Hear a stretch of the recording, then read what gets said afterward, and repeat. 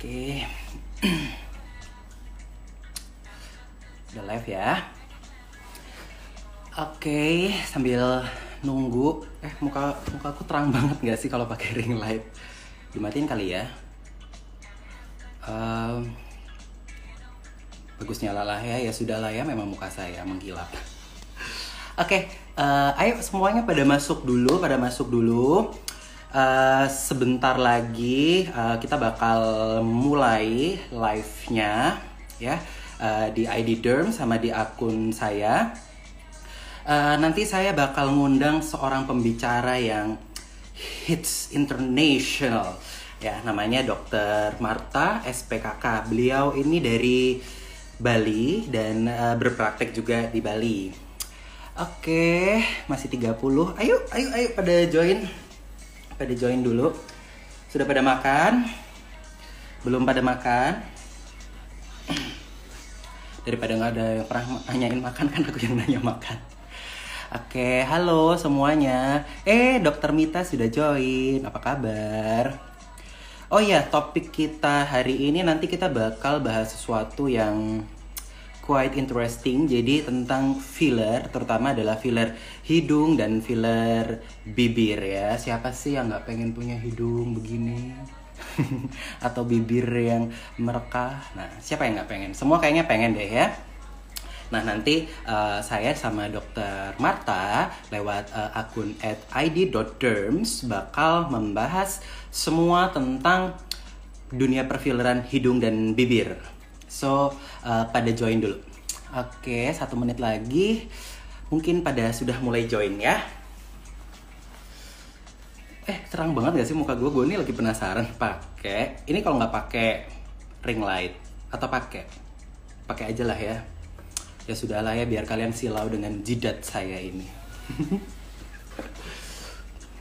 Oke, kita tunggu dokter Marta siap bos Yuda. Saya sudah pakai ring lightnya modal 100 ribu. Oke saya lihat dulu. Hmm, oke. Oke ditunggu dulu ya. Bersabarlah orang sabar Halo, Dokter Marta, spesialis kulit dan kelamin paling hits di Bali. Apa kabar? Baik, Dokter Diki apa kabar? Aduh. Sehat. Ya. Sehat kan, Dok, di sana? Sehat. Dokter sehat. Gimana?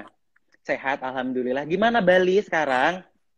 Bali masih begini-begini aja. Udah mulai rame. Mm -hmm. Tapi pada masih stay home lah ya.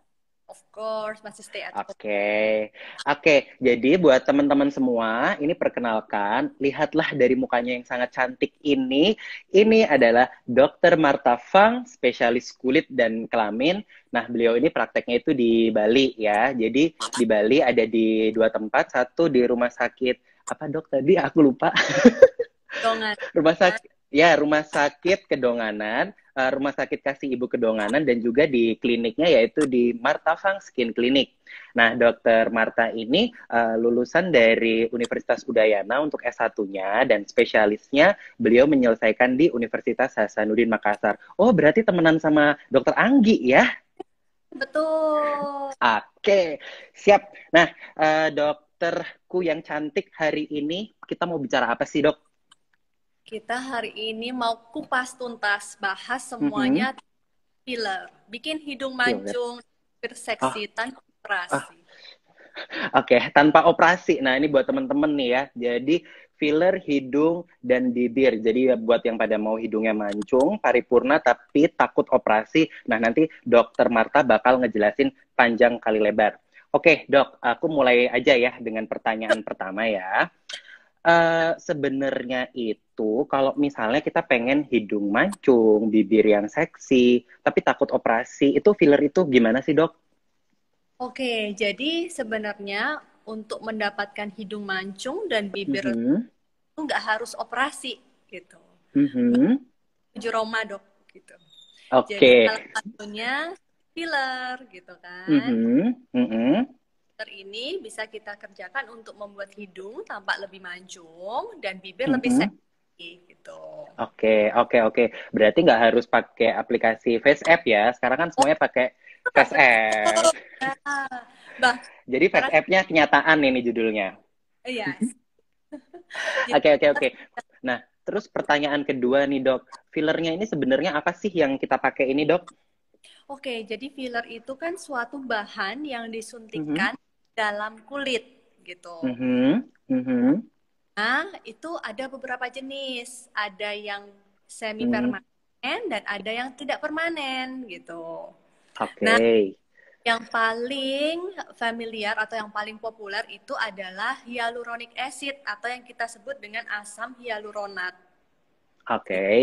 terus? Okay. Mm -hmm. Nah, selain nah, ini manfaatnya apa dia? Kalau bedanya antara si HA sama yang lain-lain ini, keunggulannya apa gitu dok? Oke, kita biasa sebut hyaluronic acid ini HA ya. Jadi mm-hmm. uh, HA ini sebenarnya salah satu keunggulan yang paling uh, populer adalah karena dia akan dissolve atau hilang sendiri, dipecah oleh oleh tubuh. Oke. Okay. Mm-hmm. Uh, beberapa lama, ada yang enam bulan, sembilan bulan, satu tahun, satu setengah tahun, mm-hmm. dua pun begitu. Oke, jadi waktunya beda-beda ya dok ya? Ya betul, beda-beda mm -hmm. tergantung dengan uh, jenis filler yang digunakan, jenis jenis fillernya. Ya. Oke, terus kan uh, kalau kita ngomong filler kan berarti kan filler itu general ya. Tadi kalau dokter Marta bilang kan dia kan isinya kan HA. Nah bisa nggak sih buat tempat lain selain hidung atau bibir itu? Of course bisa dok, bisa untuk full mm -hmm. face jadi kayak okay. face membuat face app menjadi nyata. Oke, okay, kenyataan ya. Berarti nggak usah kaleng-kaleng lah ya judulnya. Nah, oke, oke, oke. Hmm, terus? Bisa untuk full face. Jadi mulai dari dahi, mm-hmm. dari ini ya, temporal kita sebutnya temple, pipi, bawah mata, mm-hmm. hidung, garis senyum, bibir. Mm-hmm. Ini line atau garis sedih ya kita sebutnya. Oh, garis di sini nih ya. Ha. Oke, berarti intinya satu muka itu semua uh, bisa lah ya kita injeksi dengan filler ya, berarti ya. ya Oke, terus habis itu, nah tadi ini ada yang tanya nih, uh, kalau misalnya kalau kita nih contohnya kalau misalnya kan orang-orang yang udah tua nih sama orang yang muda, nah itu bedanya apa sih sebenarnya uh, pengerjaan fillernya itu dokter? Oke, jadi yang paling sering yang uh, beda mm -hmm antara orang muda dan orang tua satu pasti kalau orang tua perlu di beberapa area perlu lebih banyak mm-hmm. nah, kan mm-hmm. seperti tahu bahwa orang mm-hmm. semakin tambah usianya jumlah mm-hmm. volume volume termasuk volume jaringan pada kulit itu berkurang mm-hmm. mm-hmm. Mm-hmm. Nah, perlu pada area lebih banyak jumlahnya pun biasanya akan lebih banyak dok gitu oh gitu jadi uh, mak makin tua itu biasanya memang filler lebih banyak ya butuhnya dibanding yang makin muda ya. Ya. Oke oke oke. Nah habis itu kan ada ada juga yang bertanya. Kadang nih soalnya kadang pasien nih datang ke klinik, pokoknya tuh udah bilang dok saya pokoknya cuma mau satu cc. Terus ada juga pasien yang ya udahlah terserah dokter. Nah menurut dokter itu sebenarnya itu bagaimana sih yang membedakan kebutuhan filler ini? Apakah dokter yang melihat atau pasien yang menentukan? Oke, yang pasti dokter pasti akan memeriksa dulu dok kebutuhan mm -hmm. si pasiennya dan ini disesuaikan mm -hmm. ekspektasi pasiennya. Mm -hmm. Nah, nya kan pengennya misalnya satu mili, tapi pengennya di bibir aja, otomatis cukup dok gitu. Mm -hmm. Kalau misalnya satu mili, terus pasiennya sudah berusia di atas 45 tahun, ternyata dilihat udah kempot pipinya, bahwa matanya mm -hmm. udah kurang, bibirnya udah kurang, otomatis satu mili nggak akan cukup gitu. Mm -hmm.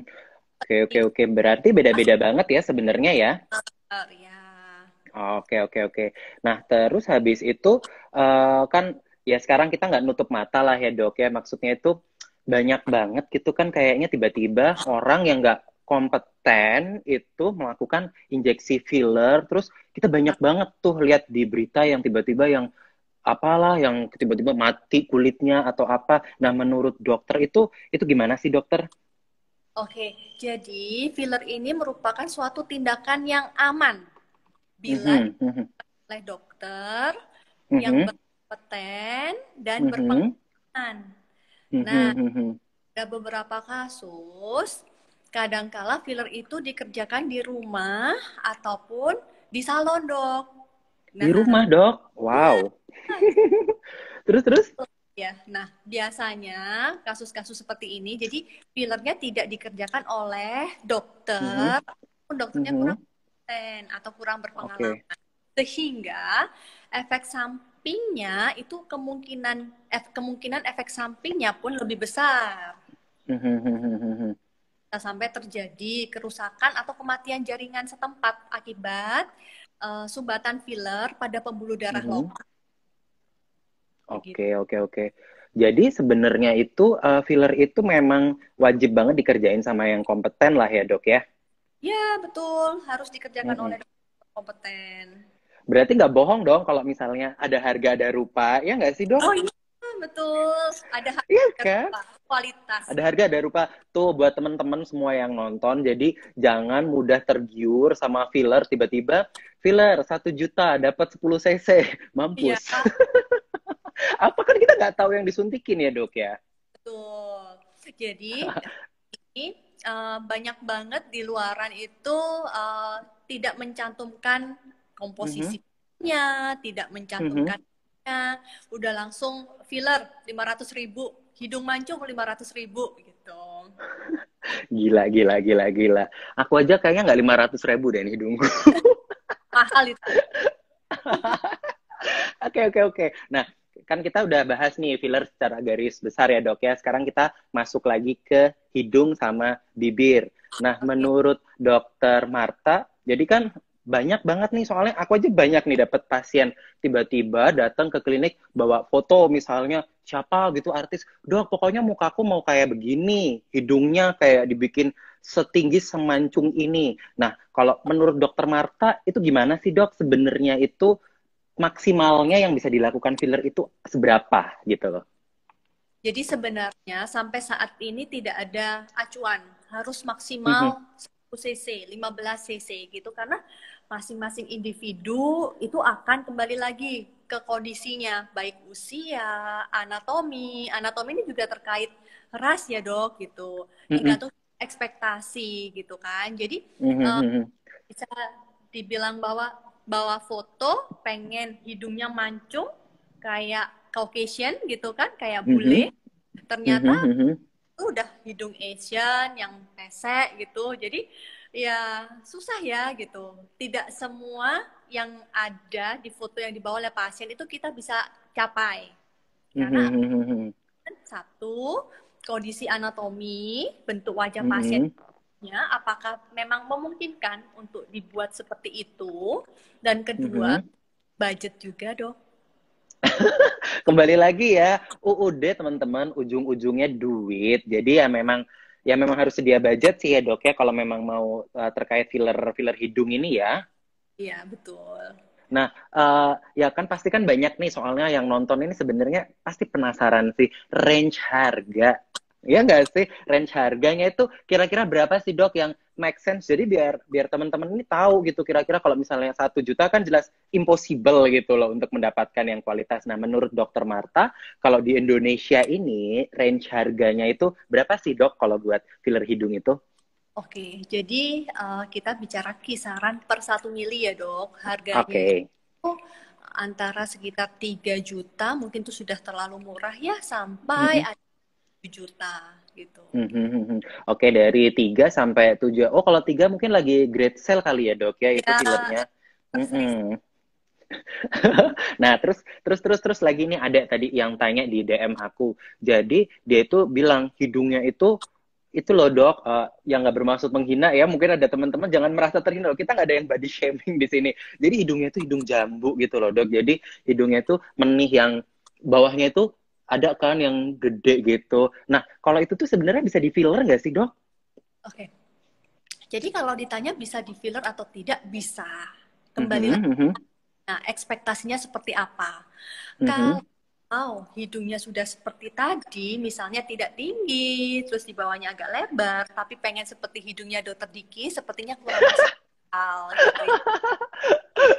Oke oke oke. Ini ini sebenarnya lucu banget loh. Jadi karena kan kadang tuh pasien itu gimana ya? Mungkin uh, ya mungkin karena kekurangan edukasi ya dok ya. Jadi mereka itu bayangannya pokoknya gue udah bayar segini ya itu pasti bakalan bisa mancung gitu loh. Jadi uh, berdasar tadi dokter Mata bilang intinya ya sangat disesuaikan dulu sama bentuk asli mukanya dulu ya nggak sih dok? Betul ya satu sesuai dengan bentuk anatomi aslinya gimana dok gitu. Jadi uh, apakah memungkinkan atau tidak? Yang kedua akan disesuaikan juga dengan proporsional wajahnya gitu. Kalau misalnya ah bulat tiba-tiba pengennya hidungnya kayak hidungnya dokter Diki kayaknya makin gak kelihatan hidungnya hidungnya mancung tapi tenggelam gitu oh tenggelam gitu ya oh jadi apa overall outline muka itu juga mempengaruhi banget ya kira-kira bentuk hidung bagusnya gimana ya dok ya? Betul. hidungnya aja yang bagus akhirnya aja yang bagus tapi dibentuk uh, biar balance biar proporsional gitu Nah, ngomong-ngomong proporsi wajah sebenarnya, uh, proporsi wajah itu sebetulnya gimana sih dok uh, ngitung-ngitungnya itu? Jadi biar teman-teman tuh kayak ada bayangan gitu loh. Sebetulnya apa sih yang kurang di wajahnya itu? Jangan-jangan mereka kan kadang fokus cuma pengen hidung mancung, tapi ternyata proporsinya tuh sebetulnya bukan di situ dan ngeyel gitu loh. Nah, itu apa sih dok sebetulnya harus dilihat gitu? Otomatis satu dilihat yang paling mudah adalah kiri kanan ya dok. Apakah sudah cukup mm -hmm. simetris tidak, karena memang sangat uh, sepertinya sangat sulit untuk membuat wajah simetris antara kiri dan kanan. Tetapi mm -hmm. itu ada satu hal yang mudah dilihat kiri, dilihat kanan. Kemudian mm -hmm. kita bisa bagi wajah menjadi tiga bagian, sepertiga atas, tengah, mm -hmm. dan bawah gitu. Jadi mm -hmm. yang rumah silakan ambil penggaris diukur lebar dari sini sampai ke alis, dari alis sampai ini ya. Ya, segini, segini, okay. segini. Itu apakah sudah uh, merata panjangnya, lebarnya gitu. Hmm, I see, I see, I see. Selain itu, kita bisa lihat uh, proporsional wajahnya. Memang pada dasarnya anatominya bentuknya memang bulat kah, bentuk oval kah, mm -hmm. atau bentuknya heart shape kah. Jadi uh, dikembalikan. Nah, setelah okay. kita melihat Contoh, tadi kita balik lagi, maaf ya, bukan body shaming ya, jadi hidungnya agak lebar gitu. Terus mukanya memang kecil banget gitu. Otomatis mm -hmm. kalau ditambah agak lebih mancung, akan kelihatan lebih bagus gitu. Oke, okay. nah, oh gitu. Ya, sudah kecil, mukanya sudah round, pengen ditambah lebih mancung, otomatis nggak kelihatan tidak terlalu banyak perbedaannya gitu. Hmm, gitu. Jadi hidung itu intinya bukan uh, segala-galanya lah ya di dunia ah, ini gitu ya. Hmm. Nah, itu yang harus teman-teman pahamin tuh, benar. Jadi bukan hidung saja yang bagus, bibir saja yang bagus, tapi keseluruhan proporsinya gitu. Apakah Oke, oke, oke. Eh, pas atau enggak? Oke, nah itu ya. Jadi teman-teman didengerin. Jadi dokter mata udah bilang bahwa hidung itu bukan semuanya. Memang hidung itu adalah salah satunya, tetapi kita harus lihat overall juga ya dok ya. Kalau overallnya misalnya malah bentuknya jadi aneh kan, ya kayak Pinocchio ya nggak sih dok ya jadi gimana gitu lah, kan? Oke. Nah ini kita pending dulu yang masalah hidung. Soalnya ini ada beberapa tadi yang nanyain juga tentang bibir. Nah kan bibir orang Asia itu kan kayak bibir saya nih dok, bibir saya ini kan udah tebal. Nah ini kalau misalnya saya mau di filler ini bagusnya gimana? Satu, pasti saya tanyain kalau dokter Diki jadi pasien saya, dokter maunya hmm. bentuk gimana gitu. Nah, oh gini. Oke, jadi mau keriting gitu. Enggak, jadi tanya, saya akan tanyakan ekspektasinya, apakah bentuknya atau lip define, jadi define uh, bingkai bibirnya yang diperbaiki atau mhm. volume mm -hmm. yang ditambah gitu. Karena okay, okay. orang Asia itu kan bibirnya sudah cukup bervolume ya dok, sudah cukup tebal gitu. Tapi mm -hmm. pada beberapa kasus bentuknya itu kurang bagus gitu. Nah. Mm -hmm lakukan filler jadi untuk memperbaiki membingkai bibirnya ini jadi kelihatan lebih berbentuk lebih indah lebih seksi gitu Oh gitu. Jadi filler bibir itu tidak harus selalu menebalkan bibir ya dok ya? Tidak selalu, tidak selalu menebalkan bibir. Hmm. Tapi bagi bentuknya, bentuknya lebih uh, proporsional. Jadi seperti mm -hmm. berproporsional dan proporsional dengan bentuk wajahnya gitu. Hmm. Kalau proporsional bibir itu uh, seberapa sih dokter? Apakah juga dia ada hitung-hitungannya atau ya udah kita lihat cocok-cocokin aja ke mukanya gitu? Oke, biasanya kita lihat adalah satu dibanding 1,6. Jadi bibir oh. atas itu bawah 1,6 gitu. Oh gitu. Aku itu rasionya ya? Kalau bibirku kayaknya ini doer deh dok, jadi kayaknya mungkin tiga tiga ini kayaknya. Oke oke oke. Eh menarik banget loh ini buat teman-teman. Jadi itu tadi ya. Jadi filler hidung, filler bibir itu memang harus disesuaikan dulu sama bener-bener ya kita ras kita apa dulu gitu ya yang pertama. Terus habis itu proporsi dan yang ketiga itu kebutuhan. Jadi nggak boleh yang terus tiba-tiba bawa foto. Kan soalnya sering banget kan ya dok ya ke ke klinik itu bawa foto dok pokoknya mau kayak gini hidungnya bibirnya apa semuanya mau kayak gini. Nah jadi buat teman-teman sudah dengar ya barusan sama dokter Marta bahwa setiap orang itu intinya memiliki proporsi dan cantik mereka sendiri-sendiri. Setuju nggak dok? Masing-masing okay, okay. memiliki ciri khas. Kita tinggal menambah hmm, dan lebih ganteng Gitu. Oke oke oke. Tapi kan gini dok, masalahnya itu uh, kalau misalnya kita kita kan sebagai dokter nih kan kadang kita itu mendapatkan uh, apa namanya pemahaman bahwa filler itu kalau cowok itu kan harus dibikin yang terlihat maskulin, kalau cewek itu harus dibikin kelihatan feminin. Nah pertanyaannya adalah di Indonesia sekarang ini kan trennya kan ke Korea Koreaan ya. Kayak kayak saya lah nggak usah jauh-jauh lah. Maksudnya saya pun saya bikin dagunya lebih lancip nggak kotak. Nah kalau menurut dokter Marta itu overall dari sudut filler hidung dan filler bibir apakah ada pembeda antara kalau cowok dan kalau cewek? Oke. Jadi uh, sampai saat ini tuh tidak ada yang membedakan ya antara cowok sama cewek. Karena balik lagi ke ekspektasi masing-masing individu gitu. Mm-hmm. ada uh, meskipun cowok ada yang pengen dagunya lebih uh, shape. Oh mm -hmm. ya. Tapi ada beberapa uh, pasien juga yang misalnya dagunya udah belah tapi cewek dan tetap pengen mm -hmm. dagunya tetap kelihatan belah, nggak mau V-shape gitu. Oke oke oke. Bisa ya dok ya itu ya? Bisa. Oh, tapi kalau misalnya dagunya nggak belah, dibikin belah bisa nggak dok? Bisa. Bisa. Oh bisa ya. Wow. Jadi intinya itu sebenarnya filler bisa buat macem-macem ya.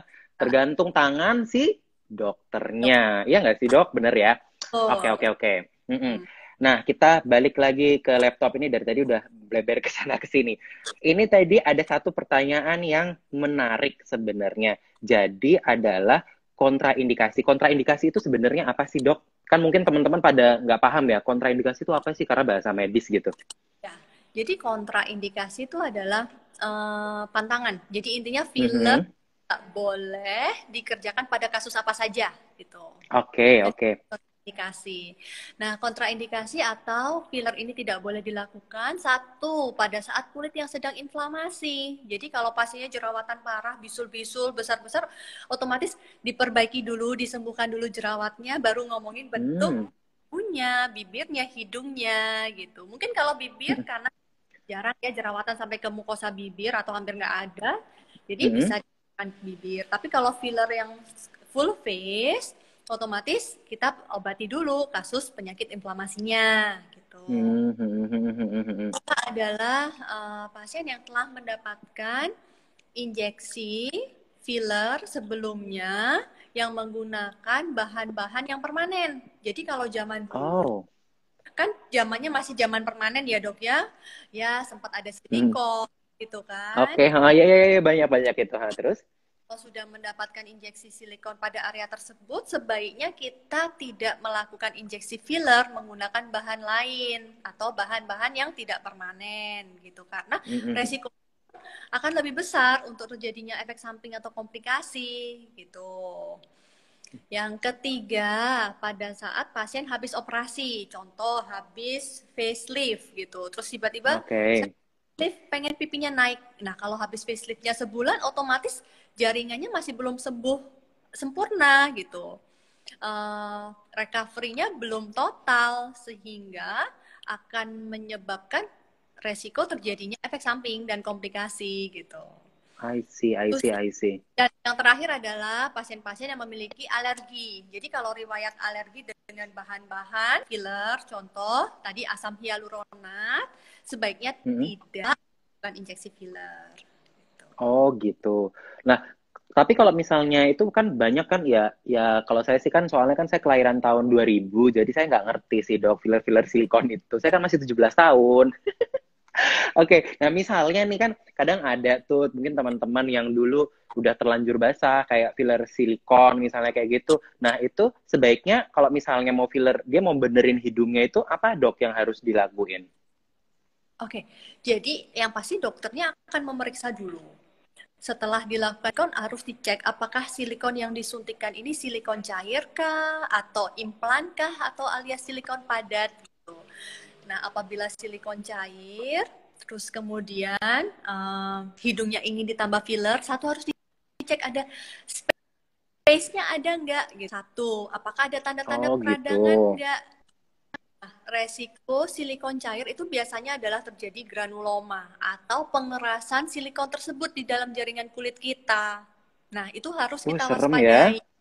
Serem banget gitu. Dan biasanya muncul hari dua hari gitu munculnya bulan, enam bulan, setahun gitu. Muncul jendul-jendul atau bentuknya berubah peot gitu ya dok ya.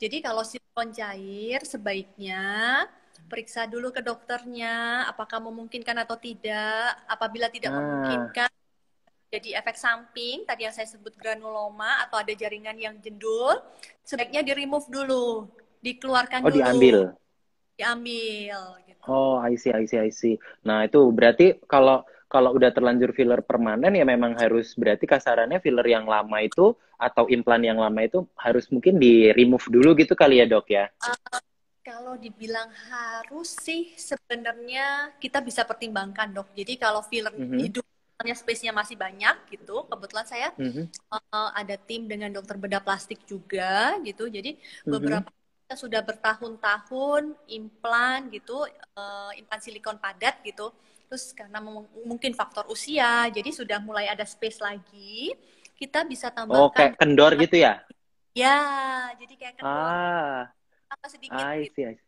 ya oke oke oke kita pertimbangkan harus kita sangat berhati-hati untuk patient hmm, hmm, selection hmm, Oke, okay, berarti patient selection. Oke, okay. nah itu tadi kalau misalnya yang uh, terlanjur sudah pernah silikon-silikonan lah ya.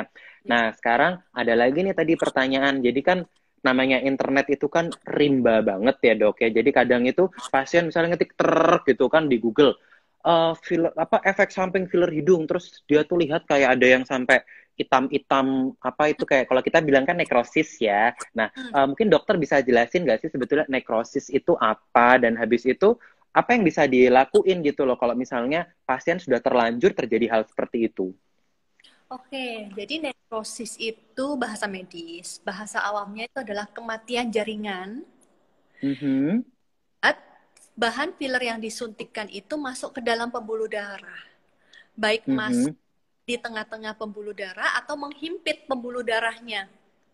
Mm-hmm. Pembuluh darahnya kejepit. Sehingga area okay, okay. tersebut, contoh hidung, tidak mm-hmm. mendapat aliran darah sehingga kulitnya itu mati gitu. Oh, jadi yang mati cuma kulitnya aja, Dok? Atau orangnya mati juga nggak kalau misalnya filler itu? Kan ada yang takut juga tuh, misalnya bisa mati nggak sih kalau saya filler itu? gitu? Uh, sejauh ini kalau mati enggak ya dok. Belum. Mudah-mudahan ya enggak gitu. Tapi kalau buta amin amin. Aduh, aduh ketok-ketok. Berarti sejauh ini sih sebenarnya uh, efek terburuknya itu kalau filler selain tadi apa kematian jaringan orangnya nggak bakal mati ya dok ya Hmm, betul. Dan jangan nah, lupa. efek paling buruknya lagi apa? Kebutaan. Oh, filler hidung berarti bisa buta juga? Bisa. Jadi, mm -hmm. uh, pembuluh darah hidung di sini itu ada percabangan di bagian tengah-tengah alis ini, ada percabangan dengan pembuluh mm -hmm. darah cabang dari retina, dari dalam bola mata gitu. Nah, di sini dia Oh, ke dalam mata ya ke dalam mata. Sehingga apabila ada sumbatan filler di area sini, otomatis aliran darah ke dalam bola mata pun akan terganggu gitu. Sehingga itu bisa menyebabkan kebutaan. Hmm, Oke, jadi ini dua dua apa ya dua side effect yang paling parahnya dari filler itu itu tadi ya kematian jaringan sama satu lagi adalah kebutaan. Nah, uh, tadi kan uh, belum dibahas tuh dok. In case nih misalnya ada temen yang udah terlanjur kayak cutik di salon atau cutik di rumah, terus habis itu ternyata jadi kematian jaringan. Nah itu apa yang bisa dilakukan dokter? Yang pertama, datanglah ke dokter yang berkompeten untuk memperbaiki. Kalau suntiknya di salon, otomatis salonnya tidak kompeten untuk memperbaiki efek samping, ya dok. Jadi mm -hmm. mm -hmm. Baik itu dokter spesialis bedah plastik boleh, dokter spesialis kulit boleh, gitu, ataupun dokter estetik yang memang sudah berkompeten dan berpengalaman. Nah tujuannya okay, okay, okay. kita memperbaiki kematian jaringan ini secepat mungkin golden mhm. periodnya mm -hmm. waktunya adalah sebaiknya kurang dari 48 jam. Sebelum oh, kurang 40... dari dua hari ya? Ya, kurang dari dua hari. Kalau kurang dari dua hari, kita masih bisa menyelamatkan jaringan tanpa adanya ska. Jadi nggak kelihatan, nggak okay, ada. Oke, okay, oke, okay. Oh. Oke, okay. nah uh, tapi kita taunya itu kalau kan ya itu tadi kan kadang namanya orang udah terlanjur nyoba nah dia dalam 48 jam ini tanda-tandanya itu apa sih dokter sebenarnya satu otomatis pasti muncul kemerahan jadi contoh filler mm -hmm. hidung di seluruh hidung kemerahannya bukan merah aja tapi merah sama ungu dok merah, merah. sama ungu hijau nah, juga nggak dok ungu ada jaring-jaring ungunya gitu dok ya setelah Aha. itu biasanya disertai dengan pembengkakan. Mm-hmm. Biasanya komplikasi kematian jaringan itu terjadi dalam hitungan detik atau bahkan menit, dok. Gejalanya itu udah kelihatan. Oh, really? Ya. Uh, serem ya, dok ya. Itu udah langsung. Jadi merah dulu, bengkak, kemudian disertai jaring-jaring ungu warna uh, bentuknya. Setelah mm-hmm. itu disertai dengan nyeri. Nah, nyerinya itu biasanya mulai dari lokal, kadang sampai menjalar, sampai ke dalam bola mata sakitnya. Selain mm -hmm. itu, setelah dibi apabila dibiarkan satu dua hari, mulai ada nanah kecil-kecil gitu. Setelah oh, itu... jadi nanah itu bukan infeksi ya dokter ya? Kalau kan kadang tuh pasien sering salah tuh, atau misalnya si tukang salonnya kalau misalnya dikomplainin, dok ini ada nanah, eh mbak ini kok ada nanahnya? Oh itu infeksi kali mbak, udah kasih aja antibiotik kan bukan infeksi ya berarti itu ya? Tidak selalu dok, tidak selalu mm -hmm. infeksi, bisa karena kematian jaringan juga gitu, bisa mm -hmm. juga. Um, jadi infeksi kan ada beberapa jenis, ada infeksi bakteri. Mm -hmm infeksi virus gitu. Jadi ya memang okay, okay. Uh, periksalah, konsultasikanlah ke dokter yang berpengalaman, berkompeten, mm -hmm. apa jadi efek samping gitu. Jadi ya itu tadi ya buat teman-teman memang filler hidung, filler bibir itu jangan pernah satu tergiur harga murah, jangan pernah tergiur sama yang hasil yang wow banget, tapi tanpa dilihat sebetulnya adalah kebutuhan di muka sama kemampuan dari si injektornya gitu ya dok ya. Karena wajah okay. kita adalah investasi dok. Iyalah wajah itu investasi. Eh mahal loh muka itu loh. Cuma kalau udah sampai kenapa-kenapa mau diapain? Iya kan? Gak bisa. Masa ganti ganti muka kambing. Nah oke okay, dok, ini ada beberapa teman-teman yang udah pada eh, tanya-tanya, aku bacain ya dok ya. Eh kebanyak ini banyak pisan ini. Aduh, ntar ya dok ya, saya harus Oh ini sebagian besar sih memuji dirimu dok bahwa dirimu itu cantik sekali. Ya memang cantik lah, makanya dia jadi SPKK. oh julid banget gue. Oke, okay. oh ini ada satu, oh, tar, tar, tar, tar, mana ya pertanyaannya? Nah, ini ada pertanyaan kalau misalnya pasien yang autoimun itu bisa di filler enggak? Oke, autoimunnya apa dulu dok? Contoh yang paling sering adalah lupus. Oke, okay, lupus. Mm -hmm. Lupus gitu. Jadi uh, misalnya apabila lupus itu biasanya ada gejala kemerahan, bentuknya seperti hmm. kupu-kupu gitu di pipi. Oh, gitu. kupu-kupu, gitu. oke. Okay. Kupu-kupu yang udah jadi kupu-kupu ya dok, bukan kepompong. Oh, belum kepompong ya, bukan ulat kepompong. Oke, oke. Berarti salah satunya lupus. Selain lupus, apa lagi dokter? Um, jadi psoriasis gitu kan. Mm -hmm. Lama uh, keadaan kulitnya itu tidak inflamasi, jadi lupusnya itu terkontrol ataupun psoriasisnya terkontrol, itu kita bisa mengerjakan filler secara hati-hati, gitu. Okay. Dalam hati-hati, jangan langsung uh, banyak jumlahnya. Mungkin di kita kerjakan satu lokasi dulu, gitu. Mm -hmm. Oh, berarti intinya boleh-boleh aja asal penyakitnya itu lagi nggak flare ya istilahnya ya. Ah, lagi oh, gitu-gitu. Nah, tuh berarti teman-teman kalau misalnya yang pada punya penyakit autoimun itu bukan berarti tidak berhak untuk menjadi cantik atau cakep ya, tetap boleh tapi dipastikan eh, kasus-kasus uh, penyakitnya misalnya teman ada yang punya lupus ya, ada yang punya psoriasis. Psoriasis itu itu loh kayak kerak-kerak di wajah gitu loh atau di kulit. Nah, itu juga boleh-boleh aja tapi harus kontrol dulu ke dokternya untuk memastikan bahwa penyakitnya sedang tidak aktif ya. Nah, okay. jadi pesannya dok, kalau memang sudah punya penyakit autoimun, fillernya jangan ke salon. Karena nanti salonnya nggak tahu apa itu lupus, psoriasis. Nah, itu, tuh, tuh, tuh. Eh, syukurin kalian yang pada suka filler di salon dimarahin sama dokter Marta. Iya, aku sih nggak marah. Aku kan baik katanya. Aku tuh katanya kalau lagi live itu uh, kayak ini loh bawang putih gitu loh, sering disia-sia. Jadi dokter Marta aja yang marah-marah sama dokter Mita itu memang katanya hobi marah-marah. Oke, oke, oke. Kita ke pertanyaan selanjutnya ya, Dok ya. Ya. Nah, ini ada pertanyaan nih. Uh, ini bagus nih.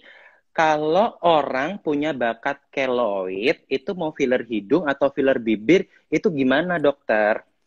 Oke, sejauh ini um, resiko terjadinya keloid pada saat penyuntikan filler itu sangat rendah.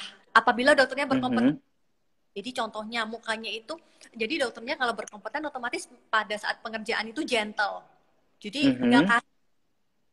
Ngerjain pakai jarumnya itu smooth, gentle gitu. Sehingga resiko kerusakan jaringan akibat masuknya mm-hmm. jaring kita bisa minimalkan gitu.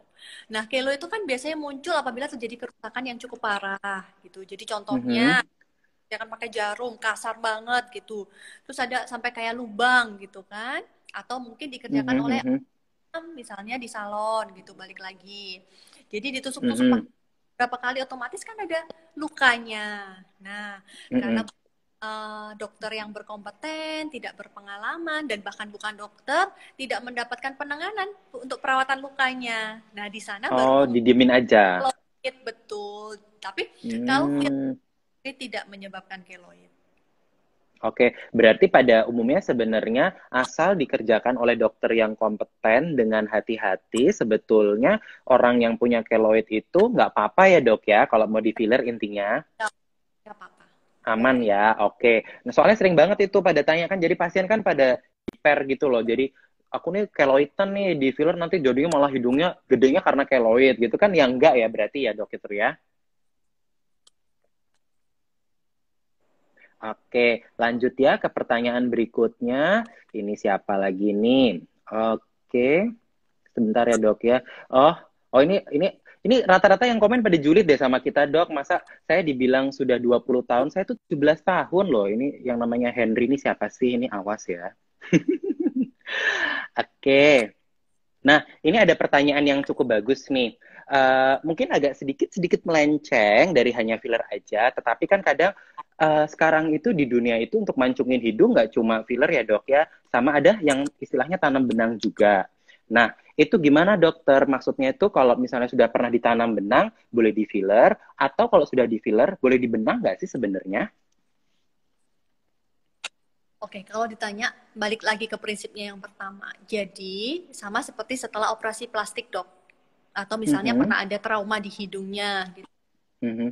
uh, Apabila masih ada space, tetap bisa dikerjakan. Jadi meskipun sudah benang, dilihat masih ada space oleh dokternya, bisa dikerjakan. Tapi satu lagi, harus berhati-hati mm -hmm. dan dikerjakan oleh dokter kompeten.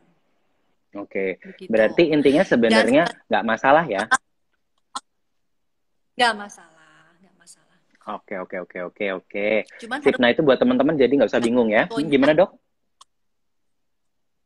Cuman harus berhati-hati karena kalau kita uh, mengerjakan filler pada saat mm -hmm. pasien yang setelah benang itu resiko untuk uh, kematian jaringan atau terhimpitnya pembuluh darah di hidung itu akan lebih besar karena space-nya kan udah mulai uh, berkurang, Habis mulai ya? sempit gitu.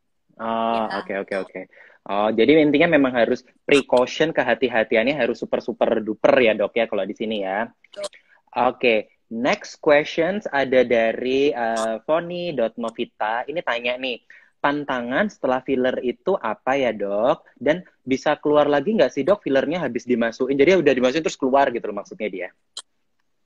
Oke, yang pertama pantangan dulu. Pantangan itu hmm. tergantung di lokasi mana kita disuntikan filler kita akan bahas dua dok ya, hidung. Hmm. Kalau hmm. hidung setelah filler hidung otomatis uh, tidak boleh pakai kacamata dulu dua atau tiga oh, hari. Jangan pakai kacamata. Berapa hari dokter tadi? Dua sampai tiga hari. Oke. Okay. Mal. Karena nanti kalau kena pakai kacamata atau kacamata yang uh, hmm. mata hidungnya yang terlalu sempit, itu akan merubah bentuk hmm. hidung. Gitu. Oh, jadi lancip di sini ya nanti ya? jadi lancip di sini besar di bawah gitu kan. kayak ini kayak pisau pemotong itu loh jadi runcing gitu gitu loh terus uh, yang kedua jangan pencet-pencet komedo setelah filler hidung nanti akan merubah bentuknya gitu mm -hmm, mm -hmm. Ya. itu nggak boleh dipencet-pencetnya berapa lama dokter paling tidak selama tiga hari gitu dong mm -hmm. terus contoh Berarti kalau tiga hari ya hmm, berikutnya kalau filler bibir kalau filler mhm. bibir mm -hmm hanya tidak boleh makan makanan panas dan minum minuman panas mm-hmm. selama hari gitu. Ya tujuannya satu biar fillernya nggak lumer. Yang kedua untuk mengurangi resiko penggumpalan filler di dalam gitu. Karena ada beberapa jenis filler apabila terkena mm-hmm. dan disuntikan di bibir filler tersebut dia terjadi penggumpalan gitu yang kita sebut oh. Ya. Mm-hmm. Oke. Okay. Yang ketiga, biasanya kalau pasien habis filler bibir, nggak boleh French kiss, dok. Nanti berubah bentuk filler. Oh gitu. Tuh, berarti yang pada habis filler bibir, jangan langsung bersemangat ya. Tahanlah hawa nafsu, gitu. itu berapa lama sih, dok, kalau nggak boleh ciumannya, tapi kalau misalnya habis filler bibir itu? Tiga hari biasanya, dok tiga hari. Eh tiga hari meni lama. Tapi kalau kalau misalnya nih misalnya kan ada namanya orang ya tidak luput dari kesalahan tuh. Misalnya saking semangatnya nih pasangannya lihat habis eh bibir kamu kok seksi banget sayang gitu. Terus tiba-tiba dicium gitu bakal langsung menceng gitu atau butuh French kiss yang kayak mana sih dok? Gitu, gitu loh. Uh, jadi kalau memang tidak sengaja sudah terlanjur terjadi telepon aja dokternya. Dok besok ketemu ya dok. Cek dulu fillernya ini gimana gimana uh -huh. perbaiki enggak gitu Oke, oke, oke, oke. Jadi intinya kalau tidak sengaja, tidak sengaja loh teman-teman ya jangan disengaja. Kalau tidak sengaja itu langsung telepon sama dokternya buat dicek dulu. Tapi ya berpuasalah intinya tiga hari ya dok ya tadi itu ya. Hmm, oke, oke, oke. Apalagi dok yang mau disampaikan? Apa dok? Lupa pertanyaan kedua. Oh, pertanyaan kedua. Nah, kalau fillernya tuh habis disuntikin, itu bisa keluar sendiri gitu nggak sih dok sebenarnya? Saya ada dapat beberapa kasus yang di refer ke saya gitu. Paling sering hidung. Jadi hidungnya sudah mhm. mancung, mm -hmm. pengen tambah mancung lagi gitu. Akhirnya mm -hmm. karena tidak dan kebetulan ada beberapa um, ya mungkin pengerjaannya kurang bagus gitu ya. Mm -hmm. Jadi itu kadang keluar sendiri gitu di ujung gitu. Nah, biasanya kasus ini juga uh, cukup sering terjadi pada kasus yang setelah dibenang, dipasang benang filler, mm -hmm. benang hidung, kemudian langsung di filler. Oh, langsung gitu. saat itu juga nah, gitu ya. Pak gitu. Karena seperti yang kita ketahui, diameter untuk jarum untuk memasukkan benang pada hidung itu kan cukup besar gitu iya, kan. Iya, iya benar-benar. Kemudian ditambah filler gitu kadang pasien itu juga ada yang agak nakal ya dok. Tiba-tiba hidungnya dimancung-mancungin sendiri karena menurut dia masih kurang mancung. Oh dipencet-pencet. Ya mm-hmm. dipencet. Sehingga filmnya itu turun atau bermigrasi atau berpindah tempat. Nah biasanya inilah yang akan menyebabkan filmnya keluar dari ujung hidung gitu. Tapi kembali lagi oh, apabila okay. oleh dokter yang berkompeten dan berpengalaman dan dikerjakan secara hati-hati, filler itu tidak akan pernah keluar dari lubangnya lagi. Kayaknya itu juga ngaruh di kualitas fillernya nggak sih, dok? Kan banyak oh. tuh hmm, kan filler-filler yang kayak murah-murah gitu, tapi dia tuh encer gitu loh, nggak memiliki kemampuan apa ya kalau kita bilang kohesi ya, jadi nggak memiliki kemampuan nempel sama jaringan. Bener nggak sih dok kalau itu? Betul. Jadi tadi kan sudah di awal kita sempat uh, sekilas sebut bahwa filler tuh banyak jenisnya, banyak karakteristiknya gitu. Nah, kadang beberapa kasus contoh di salon gitu kan dok. Nggak ngerti ini karakteristik filler yang cocoknya di hidung di mana di bibir di mana di pipi di mana. Filler yang mestinya di bibir ditaruh di hidung. Otomatis dia satu nggak nempel dia nggak bisa membentuk lancip. Jadi dia hidungnya tetap aja nggak bisa tinggi gitu. Tetap aja tepos okay. gitu dok ya. Tepos keluar lagi gitu kan Oke, okay. nah ini kan teman-teman karena seru banget sebenarnya kita ngomongin masalah filler hidung sama filler bibir ini, tapi uh, saya pengen ngingetin buat teman-teman semua bahwa uh, sebenarnya kita itu punya satu platform ya dokter ya, namanya itu at id.derms. Nah, mungkin Dokter Marta bisa sedikit menjelaskan platform kita ini sebenarnya apa sih dok tujuannya? Oke, jadi platform id.derms ini adalah tujuannya adalah memberikan informasi dan edukasi kepada masyarakat awam terkait dengan kasus-kasus ataupun promosi kesehatan, jadi prevention gitu ya dok, yang berkaitan dengan penyakit kulit dan kelamin termasuk juga kosmetik ataupun estetik medis gitu. Nah, Derm platform ini di bawah uh, perhimpunan kita, Perhimpunan Dokter mm -hmm. Kulit dan Kelamin Indonesia gitu. Jadi memang kita tujuannya adalah ingin mengedukasi masyarakat biar masyarakat ini lebih pintar lagi, lebih melek lagi tentang uh, berbagai macam kasus-kasus kulit ataupun perawatan kulit ataupun segala macam yang berkaitan dengan penyakit kulit dan kelamin termasuk kosmetik medik juga. Oke, nah itu jadi buat teman-teman nanti sebarin followerku, followernya Dokter Marta, sebarin ke semuanya buat follow at id.derms karena nanti uh, kita itu bakalan secara berkala itu ada live-live begini dan dengan topik-topik itu yang seru-seru dan pembicaranya itu yang dipastikan itu pasti juga seru. Jadi kalian pantengin aja at id.derms. Nah itu nanti bakalan banyak banget ya. Oke, jadi ini sebelum habis, ini ada mungkin kita kita kelarin lah ya dok yang udah pada tanya, kasihan ini nanti mereka pada nangis. Oke, sebentar ya. Aduh, ini banyak banget, sumpah satu-satu aku jadi bingung. Oke, ini. Uh, nah, ini ada pertanyaan. Kapan sebaiknya melakukan filler? Apakah usia 20 tahun sudah boleh? Oke, boleh dok jawabannya. Tidak ada hmm. batasan uh, apalagi untuk kasus rekonstruksi gitu. Jadi contoh, kebetulan beberapa pasien saya adalah bukan yang pengen lebih cantik gitu, tapi misalnya habis kecelakaan gitu, bentuk mm -hmm. wajah berubah gitu. Ada yang usia 18 tahun, 19 tahun, 17 tahun gitu karena uh, memang akibat kecelakaan itu bentuk wajahnya berubah dan dengan filler ini akan banyak membantu sehingga itu bisa dikerjakan. Jadi kalau dibilang apakah ada patokan usia tertentu paling tidak setelah 17 tahun. Dari 20 mm -hmm. tahun sudah bisa. Oke, berarti intinya uh, paling mudanya itu 17 itu udah oke okay dengan indikasi yang tepat ya dokter ya? Betul, betul. Balik lagi ke indikasi. Oke, nah lalu pertanyaan berikutnya nih. Uh, nah ini uh, seru nih. Jadi dia bilang kalau dia udah beberapa kali filler hidung nih, terus habis itu kok makin lama hidungnya itu makin kayak lebar, kayak bekantan, kayak avatar gitu loh. Nah itu apa sih dok sebenarnya uh, permasalahannya itu? Pasti yang satu adalah salah pada saat menentukan fillernya, gitu. Jadi mm -hmm. karakter karakteristik filler itu ada yang ada yang juga keras gitu. Nah dokter injektornya ini yang akan menentukan apakah apakah filler tersebut cocok ditempatkan di sana. Itu satu yang utama. Okay. Yang kedua adalah bentuk anatomi, Dok. Kalau memang mm -hmm. bentuk anatominya itu memang dia sudah lebar gitu dan pengen hidungnya mancung kayak dokter Diki, otomatis akan duh, duh, duh, duh, duh, duh, duh, duh. jangan jangan jangan nanti nanti ini nanti semua pada pada hidungnya sama-sama kayak saya nanti saya nggak jadi spesial lagi jadi pasaran dok Oke, berarti uh, bisa aja makin bleber kalau salah jenis filler ya dok ya? Bisa, nah, bisa kalau sudah bleber kayak begitu bisa dibenerin nggak sih dok tapi? Bisa. Jadi apabila yang digunakan fillernya ini adalah asam hyaluronat, gitu, otomatis kita bisa dissolve gitu. Kita bisa hancurkan fillernya, terus kemudian kita buat ulang. Hmm. Nah, Jadi, habis dihancurin, terus di filler lagi itu berapa lama, dokter? Oke, paling tidak karena pada saat menghancurkan filler kita suntikan bahan yang kita sebut adalah hyaluronidase, gitu kan? Mm-hmm. Dia akan bekerja selama kurang lebih 48 jam.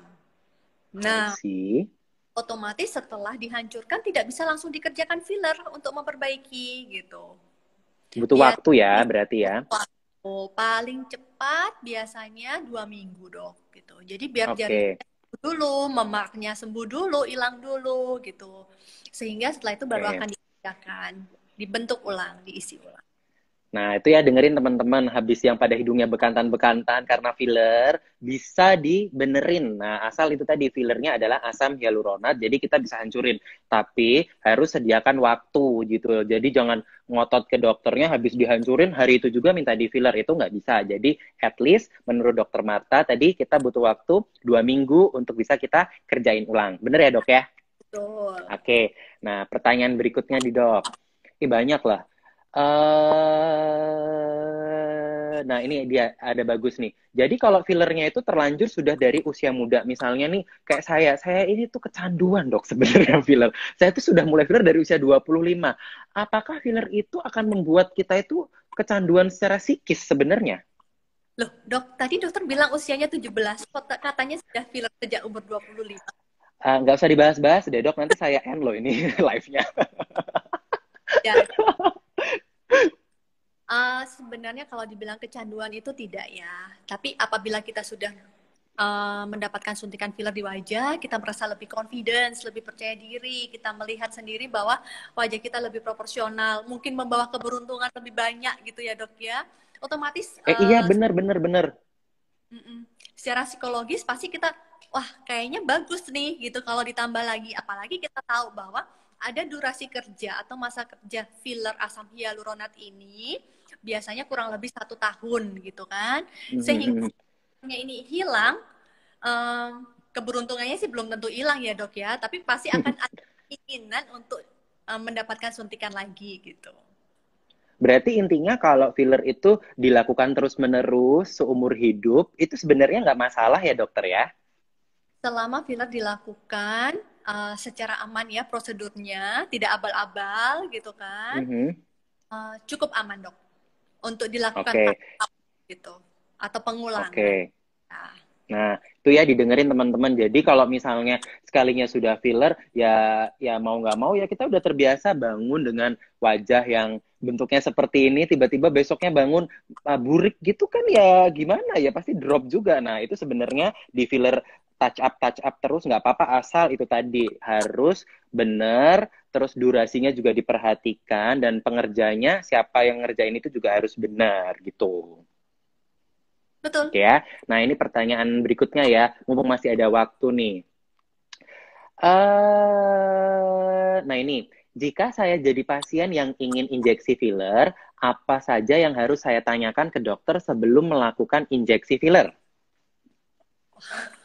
Satu, mungkin sebelum ketemu sama dokternya, uh, cari dulu track record dokternya gimana. Apakah sudah berpengalaman dan berkompeten atau tidak.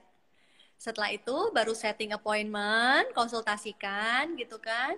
Biasanya dokter akan melakukan facial assessment, penilaian wajah secara keseluruhan gitu kan perlunya di mana gitu kan harus berapa banyak ekspektasinya nanti bagaimana jadi kalau yang ditanya apa saja yang perlu ditanyakan ke dokter banyak sekali gitu jadi bukan mm ya melulu tentang biaya gitu tapi juga fillernya mungkin brandnya apa yang digunakan jangka lamanya berapa lama efek sampingnya kemungkinannya bagaimana ekspektasi yang diharapkan dengan jumlah yang disuntikan sebanyak itu apa dan apabila terjadi efek samping, apakah sudah ada penanganannya, apakah dokter bisa menanganinya gitu. Itu juga merupakan salah satu yang membuat kita merasa aman gitu untuk mendapatkan injeksi Oke, oke, oke, oke.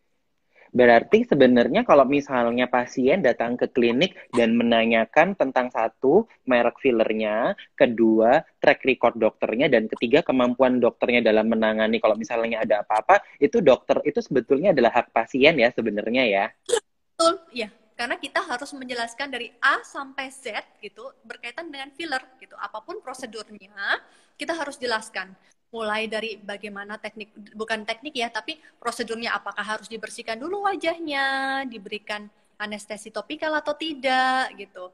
Uh, sampai berapa lama durasi pengerjaannya efek samping kemudian perawatan setelah fillernya bagaimana Oke, nah itu jadi buat teman-teman semua yang kan mungkin eh, banyak juga yang nonton live kita kali ini kan yang uh, masyarakat awam atau yang non dokter, jadi nggak usah takut kalau misalnya mau filler itu tanya sama dokternya, dok saya tuh pakai filler apa sih dok, dok misalnya nanti kenapa kenapa ini harus diapain, jadi uh, kalau misalnya dokternya marah ya berarti it's time for you to change the doctor, ya nggak sih dok? Yes of course harus hmm, karena itu hak. Benar benar benar. Harus kritis. Jadi kritis itu juga bukan hanya pas masalah harga. Harga itu terakhir itu cincai lah ya kita bisa ngobrol-ngobrol. Tapi yang paling penting adalah kualitasnya dulu karena harga itu mengikuti kualitas. Benar nggak dok? Oke. Nah ini ada pertanyaan lagi nih. Jadi hmm, mana ini dia? Nah ini ini bagus sih kalau misalnya kita mau di filler pakai asam hyaluronat kayak tadi, nah itu uh, kita tahu bakalan alergi atau enggaknya gimana sih dok?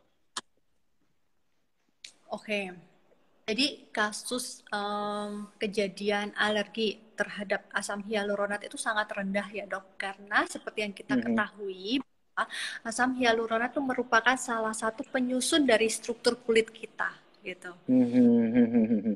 Biasanya itu uh, kita jarang melakukan tes alergi sebelum injeksi filler gitu dong. Karena kasus alergi ini sangat jarang terhadap asam hyaluronat itu sendiri gitu. Jadi uh, untuk mengetahuinya biasanya kalau pasien memang riwayat alerginya banyak gitu kan sudah pernah sampai shock anafilaktik gitu harus betul-betul berhati-hati memilih dokter dan pastikan bahwa bahan yang disuntikan ini hyaluronic acid atau asam hyaluronat karena asam hyaluronat relatif lebih aman. Ya jangan okay. sampai nah. itu gitu. Nah, itu ya. Jadi tadi itu salah satu pentingnya teman-teman yang non medis misalnya mau filler itu tanya mereknya karena sebetulnya dengan teman-teman tahu merek itu juga bakalan tahu sebenarnya filler ini itu adalah apakah dia murni asam hyaluronat atau bukan kayak gitu. Nah, itu jadi memang asam hyaluronat itu ada di kulit. Jadi sebenarnya nggak perlu terlalu khawatir asal itu tadi jelas mereknya, jelas siapa yang ngerjainnya. Gitu ya, Dok ya? Iya.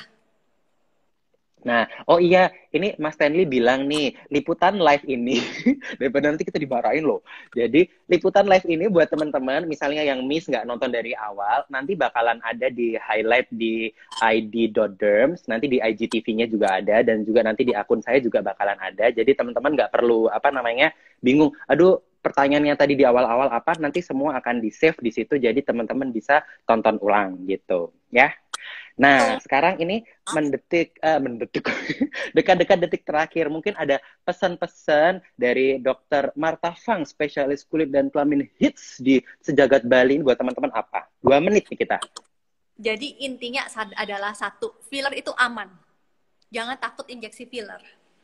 Yang kedua, carilah dokter yang berpengalaman dan berkompeten pada saat uh, kalian ingin mendapatkan injeksi filler gitu dan yang ketiga adalah bahwa percayalah uh, jangan terfokus pada satu area. Hidungnya pengen mancung mm -hmm. aja, bibir aja gitu. Tapi lihatlah bentuk wajah secara proporsional. Jangan selalu ber, uh, acuan pada misalnya ke artis-artis hidungnya pengen uh, mancung banget, bibirnya pengen gede banget gitu. Karena balik lagi ke kondisi tubuh atau kondisi anatomi kita, apakah cocok atau enggak gitu kan? Ya, itu aja sih dok pesan saya. Oke, gitu ya teman-teman. Jadi ini di satu menit terakhir saya mau ingetin lagi buat semuanya. Filler itu aman asal dikerjakan oleh yang benar, mereknya jelas, dan itu tadi kualitas itu mengikuti harga. Jangan main-main lah sama muka sendiri investasi guys. Oke, so uh, saksikan uh, besok besok kayaknya kita bakal ada lagi ya uh, live di ID.derms nanti dengan host yang lain dan narasumber yang tidak kalah mengkilap daripada kita berdua ini. So selalu stay tune ya. Oke, okay, thank you banget Dokter Marta atas segala informasinya ya. Sampai ketemu di kesempatan lain kali. Bye bye. Bye.